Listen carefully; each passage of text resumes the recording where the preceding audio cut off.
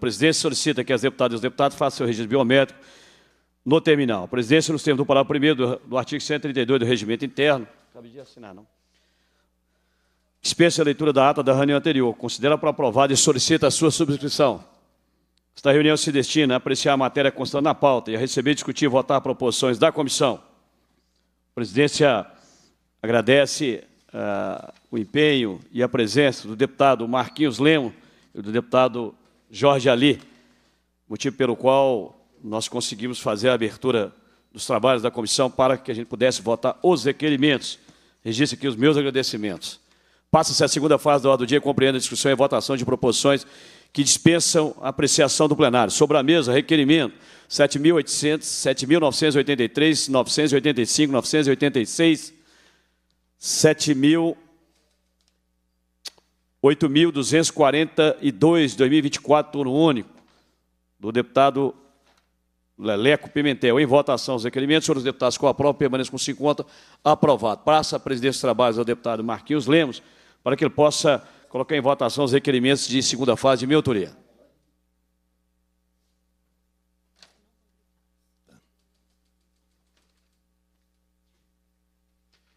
Em votação dos requerimentos de número 8.031-2024, 8.032-2024, 8.033-2024, 8.034-2024, 8.035-2024, 8.036-2024, 8.133 de 2024. Em votação os requerimentos, os deputados que os aprovam permaneçam como se encontram. Aprovados. Devolvo a presidência ao deputado Sargento Rodrigues. Agradeço ao deputado Marquinhos Lemos. Passa-se a terceira fase da ordem do dia e compreende o recebimento, a discussão e a votação de proposições da comissão. Entende algum?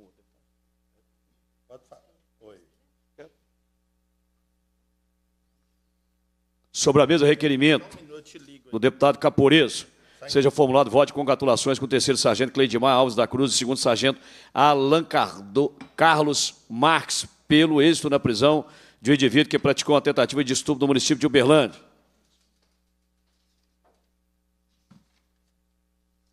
Tá, também da deputada Lohana, que seja encaminhada à Polícia Civil do Estado de Minas Gerais e a Secretaria de Estado de, Estado de Planejamento e Gestão, CEPLAC, pedir providência para a realização de um, de um mutirão no município de Itatiaiuçu, visando a expedição do novo modelo de carteira de identidade. São esses dois mesmo? Em votação, os requerimentos. Senhores deputados, com a prova permanece com 50. Aprovado. Passa a presidência dos trabalhos ao deputado Marquinhos Lemos para que eu possa fazer a leitura dos requerimentos de minha autoria.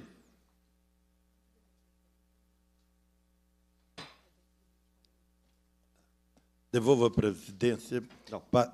não, passo a palavra ao nosso nobre colega deputado Sargento Rodrigues, para que faça a leitura dos requerimentos. Senhor presidente, serei breve. Seja encaminhada a Secretaria de Estado de Fazenda a Secretaria de Planejamento e Gestão, CEPLAC, pedir providência para a publicação imediata do plano de recuperação fiscal, a que se refere o inciso terceiro, parágrafo terceiro do artigo 4A da Lei Complementar Federal 159-2017, que institui o regime de recuperação fiscal dos Estados do Distrito Federal e altera as leis complementares 101 de 4 de maio de 2000 e 156 de 28 de dezembro de 2016, considerando o respeito aos princípios da administração pública, em especial a publicidade e a adesão do Estado ao referido regime a partir de 1 de 8 de 2024. Também que seja encaminhado ao secretário de Estado de Fazenda e à Secretaria de Estado de Planejamento e Gestão pedir informações sobre as ressalvas ou medidas compensatórias apresentadas no Plano de Recuperação Fiscal, às vedações dispostas no artigo 8 da Lei Complementar Federal 59/2017 e seus impactos na política remuneratória dos servidores públicos do Poder Executivo Estadual. Também que seja encaminhada à Secretaria-Geral do Estado, Secretaria de Estado de Governo, SEGOV, Secretaria de Planejamento e Gestão, CEPLAG e a Secretaria de Estado de Fazenda, pedido de providência para adoção das medidas cabíveis com vista à imediata regularização da, das publicações, das promoções e progressões atrasadas na Polícia Civil, a saber, de investigadores de polícia e escrivães de polícia, bem como para a aprovação e efetivação dos pagamentos decorrentes dessa regularização, incluídos os valores retroativos, considerando a finalidade e as competências do Comitê de Orçamento e Finanças, COFIN. Também que seja encaminhado ao Secretaria de Estado de Justiça e Segurança Pública, SEJUS, pedido de providência para que os documentos de identificação funcional, DIF, dos policiais penais sejam confeccionados pedidos com urgência, uma vez que sua ausência afeta o exercício de direitos e atribuição, como porte de arma de fogo. Salienta-se que os policiais penais empossados a partir do dia 20 de março de 2024 já entregaram a documentação e preencheram o formulário necessário em atendimento à convocação contida no memorando Sejusp Identificação Funcional, número 10, barra 2024, datado de 9 de maio de 2024, assim diante do exposto, conto com apoio dos pares. Também que seja encaminhado ao Comando da Polícia Militar de Minas Gerais, PMMG, pedido providência, para, atendendo ao pedido dos moradores de Roças Novas, no distrito de Caeté, intensificar com urgência o policiamento e as ações de fiscalização de trânsito, uma vez que a população não suporta mais conviver com constante sensação de insegurança e medo. Também que seja encaminhado ao comando da Polícia Militar, pedido providência, para verificar em relação à prova da disciplina de polícia comunitária aplicada aos alunos do CEFS2, se adotados os critérios previstos na Instrução de Educação 08-2024, a qual preconiza, inclusive, o dever de se instaurar processo pedagógico apuratório, PPA, caso um percentual superior a 50% dos discentes não atinja 60% de aprovação. Segundo relatos enviados a essa comissão, a prova em questão não teria observado o apêndice C, exemplos de itens de prova teórica, já que, segundo o discente, 12 das 14 questões não se encaixam nas previsões de modelo de questões previstas na referida instrução. O inciso 10 do artigo 6 que prevê que as provas devem ser elaboradas com níveis variáveis de dificuldade para verificar as diferentes habilidades requeridas no processo avaliativo e, segundo os alunos, a prova era composta apenas por questões de nível extremamente difícil, além de subjetivas. Também que seja encaminhado ao Comando Geral da Polícia Militar de Estado de Minas Gerais pedido providência para viabilizar o efetivo do distrito efetivo para o distrito de Nossa Senhora do Carmo, no município de Tabira, uma vez que o distrito não possui policiamento, ficando totalmente desguarnecido e causando o, causando o aumento da criminalidade local, conforme registro de evento de defesa social anexo, percebemos o exemplo do aumento de violência local. Também que seja encaminhada à Polícia Militar de Minas Gerais pedir providência para em atendimento ao requerimento número 5.726 de 2024 enviar cópia com urgência a essa comissão do relatório contendo o status atual da execução de emenda parlamentar de minha autoria no valor de R$ 4.055.950, acompanhada da data de pagamento do valor indicado, bem como da previsão de entrega dos objetos aos beneficiados. Também pedido requerimento que seja encaminhado à Polícia Civil do Estado de Minas Gerais Pedido de providência para em atendimento ao requerimento 5.727-2024, enviar cópia com urgência a essa comissão de relatório contendo o status da atual execução da emenda parlamentar de minha autoria no valor de R$ 2 milhões e 45 mil, acompanhado de data de pagamento do valor indicado, bem como da previsão de entrega dos objetos aos beneficiados. Também que seja encaminhado ao Corpo de Bombeiros Militar Pedido de providência para enviar com urgência a essa comissão. Relatório contendo o status atual da execução de emenda parlamentar de minha autoria no valor de R$ 964.950, acompanhado da data de pagamento do valor indicado, bem como a previsão de entrega dos objetos aos beneficiários. Também que seja encaminhada a Secretaria de Estado de Justiça e Segurança Pública, SEJUSP, pedido de providência para em atendimento aos requerimentos 5.729 de 2024, enviar com urgência a essa comissão um relatório contendo o estado da atual execução da emenda parlamentar de minha autoria no valor de R$ 1 milhão e 4 mil, acompanhada da data de pagamento do valor indicado, bem como da previsão de entrega dos objetos aos beneficiados. Também que seja realizada audiência pública para debater o conteúdo da cartilha de orientações para escolta policial divulgada entre os policiais penais, com atuação nos nosocômios pertencentes ao complexo hospitalar e urgência e a política estadual de pessoal, que contém, que, que tem como diretriz a valorização e dignificação da função pública e do servidor público, conforme inciso 1 para 1 do artigo 30 da Constituição Estadual.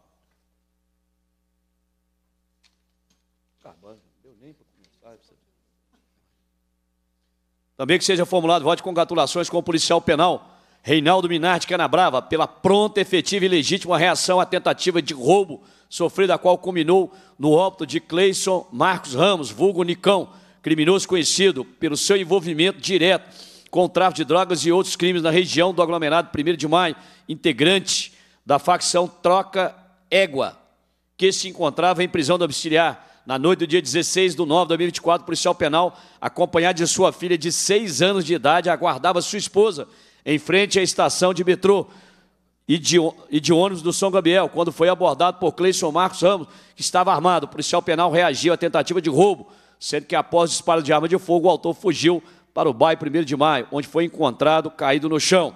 Foi socorrido e levado para a unidade de pronto-socorro, onde deu entrada sem vida. Também que seja garantido o pagamento. Deputado que subscreve aqui de Vossa Excelência, seja, Vossa Excelência, os termos regimentais, seja garantido o pagamento integral e tempestivo das diárias dos policiais militares. Esse aqui tem caminhando para quem? É, mas ah, não, né? O deputado que subscreve requer de Vossa Excelência os termos regimentais que seja encaminhado ao comandante-geral da Polícia Militar para que seja garantido o pagamento integral e tempestivo das diárias aos policiais militares, afastando definitivamente o pagamento fracionado dos valores legalmente previstos, prática frequentemente denunciada a essa comissão. Salienta por oportuno que denúncia recente em relação aos pagamentos fracionados das diárias devidas aos militares do 12º Batalhão da Polícia Militar sediado em Paz. Também que seja encaminhado ao Comando Geral da Polícia Militar de Minas Gerais pedido de providência para que seja garantido o pagamento integral e tempestivo das diárias devidas aos policiais militares, afastando-se definitivamente o pagamento fracionado dos valores legalmente previstos e frequentemente, prática frequentemente denunciada por essa comissão. Salienta para oportuno denúncia recente em relação aos pagamentos fracionados de diária aos militares do 20 Batalhão da Polícia Militar em Pouso Alegre. Também que seja encaminhado ao Comando da Polícia Militar pedido providência para que seja garantido o pagamento integral e tempestivo das diárias devidas aos policiais militares, afastando-se definitivamente o pagamento fracionado dos valores legalmente previstos, prática frequentemente denunciada a essa comissão. Salientes que, por turno recente, em relação aos pagamentos fracionados das diárias devidas aos militares do treinamento policial básico do 37º Batalhão.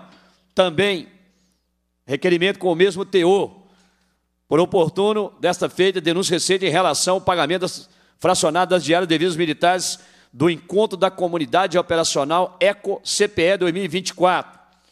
Também requerimento mesmo teor. Saliente-se por oportuno denúncia recente em relação ao pagamento fracionado das diárias devidas aos militares do 9 Batalhão. Também requerimento com o mesmo teor. Saliente-se por oportuno denúncias recentes em relação aos pagamentos fracionados das diárias devidas aos militares do treinamento policial básico do município de Itabira. Também requerimento com o mesmo teor. Salienta-se por oportuno denúncia recente em relação aos pagamentos fracionados das diárias devidas aos militares do 61º Batalhão da Polícia Militar em Sabará. Também requerimento com o mesmo teor, salienta-se por oportuno denúncias recentes em relação aos pagamentos fracionados das diárias devidas aos militares do curso CEFES 1 2024. Também requerimento com o mesmo teor, salienta-se por oportuno denúncias recentes em relação aos pagamentos fracionados das diárias devidas aos militares do 44º Batalhão sediado em Almenara. Salienta-se também por oportuno denúncia recente em relação aos pagamentos fracionados das diárias devidas aos militares do curso CEFES 2 2024. Esses são os requerimentos, senhor presidente. Em votação dos requerimentos, os deputados que os aprovam permaneçam como se encontram. Aprovado. Devolvo a presidência ao deputado Sargento Rodrigues. A presidência agradece ao ilustre colega deputado Marquinhos Lemos, ao deputado eh, Jorge Ali, que um esforço difícil, muito complicado, nessa época desse período do ano, período eleitoral, conseguimos aqui o quórum para a votação de diversos requerimentos. Eu só queria dizer, deputado Marquinhos Lemos, deputado Jorge Ali, são requerimentos de, de grande relevância, são pedidos de providência, mas com grande relevância. Né? Nós temos aqui pagamentos fracionados de diária, deputado Marquinhos. O cidadão sai, né? Nós que conhecemos bem sua região, sai lá de, de sai daqui, de, sai de Capelinha para atuar lá em Carbonita. E o pagamento da diária, que deveria ser 100%, eles estão pagando 0,25% da diária. Isso não acontece na Polícia Civil, não acontece em outra parte do Executivo, Fazenda, todos os órgãos, não acontece com servidores da Assembleia, do Ministério Público, do Poder Judiciário, né, da Defensoria Pública, do Tribunal de Não acontece. Acontece na Polícia Militar, porque lá o comando da Polícia Militar acha que são eles é que fazem a lei. Ou seja, a Lei Estadual 5.301 de 69, que é o Estatuto dos Militares, que determina, que disciplina o pagamento diária, determina o pagamento da diária completa. Só que lá eles chamam para si a responsabilidade, deputado Jorge Ali, de fracionar. Então, hipoteticamente, se o policial tem direito a uma diária de 400 reais, que não é isso, é menor, eles estão pagando 100 reais para ele fazer o deslocamento com carro próprio, para pagar o café da manhã, o almoço, o jantar e a pernoite. Ou seja, apenas aqui em muitos lugares a pernoite vai ficar em 400 reais, Marquinhos. Nós que viajamos o estado inteiro, a gente sabe que a média de uma pernoite varia entre 300, 500, 600 reais, dependendo da localização do estado em que nós estivemos. Se for lá em São Lourenço, por exemplo, 400 reais deve pagar num, no máximo a metade de uma diária. É uma cidade turística, né, os hotéis são caríssimos, né, vai pagar apenas 400 reais, vai pagar apenas meia diária de um hotel. E o comando da Polícia Militar insiste. Mas, no entanto, Marquinhos Leme e Jorge Ali, nós temos uma denúncia do coronel chamado Lázaro, que dos anos de 2019 aos anos de 2023, recebeu 708 mil reais de diária, que dividido por ano, os cinco anos, dá 141 mil reais por ano de diária líquido no bolso do citado coronel. Ou seja, para uns tem dinheiro para pagar diária. Para o soldado que vai te atender lá em Carbonita, vai atender suas demandas lá em Capelinha, Tambacuri. em Tambacuri, vai atender lá em Itamarandiba, vai atender em Novo Cruzeiro, vai atender em Setubinha, para aquele soldado que deslocou da sede da fração mais de 50 quilômetros e vai passar a noite inteira fazendo policiamento em pé, o comando manda fracionar. Então, é só para Vossa Excelência saber que realmente são requerimentos de pedido de providência. O comandante-geral da Polícia Militar está convocado para o dia 25 de setembro, a Comissão de Segurança Pública, para tratar dos assuntos e vamos cobrar dele. Se não tem o dinheiro para pagar a diária, é que ele cobra do governador. Porque para pagar 300% de reajuste do governador Romeu Zema e dos seus secretários, o dinheiro aparece. Para dar descontos bilionários de isenção fiscal para os amigos do governador, tem condições de dar o desconto. Agora, para pagar a diária, que é direito dos policiais militares, o dinheiro desaparece. Como se fosse algo normal, Marquinhos. O comandante-geral da Polícia Militar está tratando disso como se fosse algo assim. Não, nós não temos dinheiro, então eu divido aqui. Mas se não tem um dinheiro, não dá a missão. Até porque é que a gente aprende na, no jargão militar é que o comandante é responsável pela missão do subordinado. Se ele deu a missão, ele tem que verificar se está dando os meios para que a missão seja cumprida. E você não, não tem jeito. É, infelizmente, Marquinho, dentro da Polícia Militar, ainda acham que o comando é que faz as leis e executa da forma que eles desejam. Só que, né, é, quartel não são ilhas, são órgãos da administração direta, como qualquer outro órgão, que por si tem que obedecer os princípios. Então, eu queria agradecer a Vossa Excelência, agradecer ao deputado Jorge Ali, que, de forma muito gentilmente, pôde nos ajudar aqui no coro. Podemos? O que, houve agora? Quem que é do dia? Não sei. Ei. Vocês me matam. Ah, agora, né? O que é isso? É. Esse, esse é o de Pouso Alegre? Tem certeza? Que eu acho que esse aqui é de Pouso Alegre. Estou assinando agora. É esse que é o Sargento Dias. Presidência, passa a presidência ao deputado Marquinhos Lemos para o último requerimento, deputado Marquinhos. Posso fazer a leitura?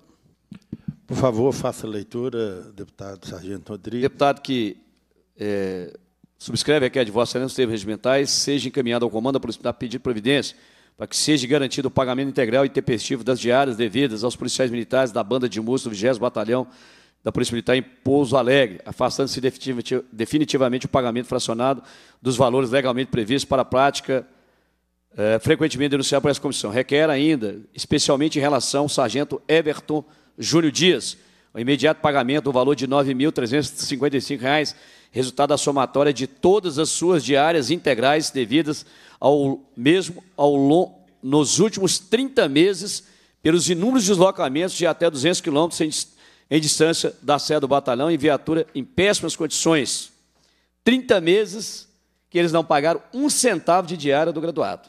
Depois eu vou, com mais tempo, falar o que, que aconteceu. O sendo é perseguido porque apresentou um requerimento para o pagamento da diária. Esse é o requerimento, senhor presidente. Em votação, requerimento, deputados que o aprovam permaneçam como se encontram. Aprovado o requerimento, devolvo a presidência ao, sargento, ao deputado Sargento Rodrigues. Cumprida a finalidade da reunião, a presidência agradece a presença dos parlamentares, convoca os membros para a próxima reunião ordinária, determina a batura da ata e serve os trabalhos. Obrigado, Marquinhos.